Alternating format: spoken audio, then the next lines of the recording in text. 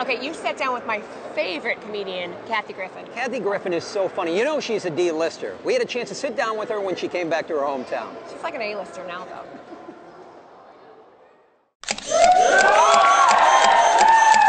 Quite possibly the most outspoken woman in Hollywood, Kathy Griffin continues to tell it like it is.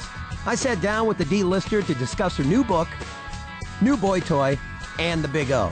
Everybody loves Kathy. Women love you, Really? guys love you, the gay guys love you, everybody Oprah? loves you. Not, maybe not so much Oprah. Is this your ticket to get on Oprah, this book? Yeah. This um, this book has been chosen for Oprah's book club. Really? The point is, she hasn't technically chosen it yet, Mm-hmm. but I'm expecting a call from Gail any minute now.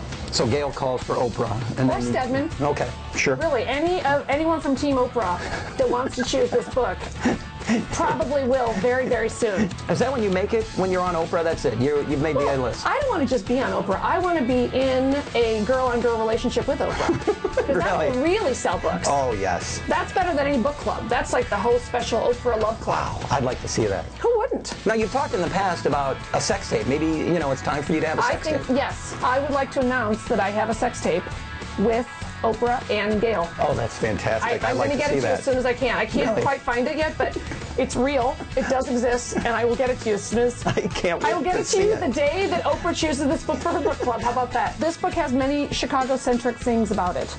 There, you know, I'm an Oak Parker. Went to grade that, school right. in Forest Park.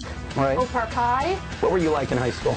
Um, well, I was all about the drama nerd clique. Okay. And that's where I found my gays. I found my first gays. And they followed you ever since. And I have loved them ever since. I didn't necessarily know they were gay, and for some reason they didn't ever want to go past second base, which I still take personally. I actually just last week saw my Oak Park High boyfriend, Tom Murphy, and his husband of 20 years.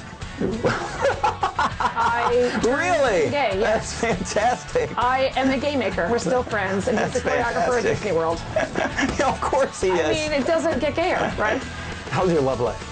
You know, I'm in a relationship with, Levi Johnston. yeah. Still? Oh, yeah. If people don't know, Levi Johnston, can you explain? Yeah, Levi Johnston is my current boyfriend. Very Right. Serious, very serious relationship. Mm-hmm. And he is Sarah Palin's daughter's baby daddy. Now, I know you're you're laughing as if yeah. that relationship is based on a publicity stunt. Yeah. To maybe sell copies of my new book. A wonderful book. But no, it's real love. I've, I found love in my life, and how dare you laugh at us? Really? Mm-hmm. Wow. Is Oh, he a- I feel like kicking. What? Uh-oh. I think I'm having a little Johnston.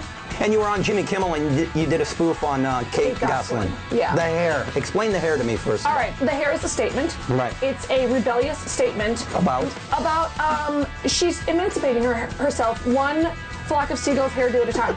so Kate Gosselin says, "There's a new Kate in town. I, I've had a, a tummy tuck. Mm-hmm. Um, my husband is uh, apparently sleeping around with every bar back in Reading, Pennsylvania. Right.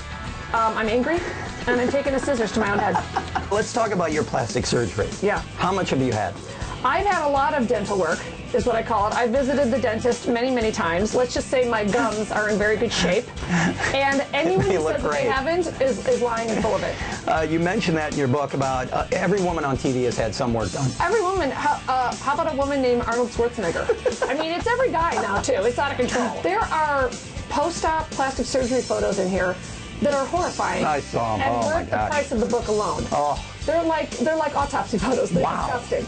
Wow. They're disgusting. But I had to put them in because they're sort of so horrible they're funny. All the dirty laundry is in this book, as well as a lot of healthy celebrity bashing. Mm-hmm. And hopefully, it's a story of um, Chicago girl who makes good, Right. Or Chicago girl who pisses people off. In season six, are we going to see a season six? Maybe we're working on it. Really? Yeah, I'm playing hardball. Oh, I like That's that. right. I, well, my dream is to do season six on Bravo and have just my mother join the Real Housewives of New Jersey. All moms are crazy, she can aren't they? flip a table and she can outdrink any it. of those dames. I love it. We have a gift for you too.